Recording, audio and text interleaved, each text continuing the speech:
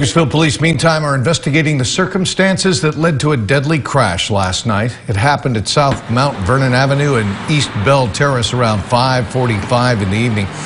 Police say one car was speeding when it veered into oncoming traffic and hit another vehicle head on. One man was killed in the crash. Another suffered major injuries and was rushed to a local hospital. Police say speed was indeed a factor in this crash. They are awaiting toxicology results to determine if the driver who caused the accident was impaired.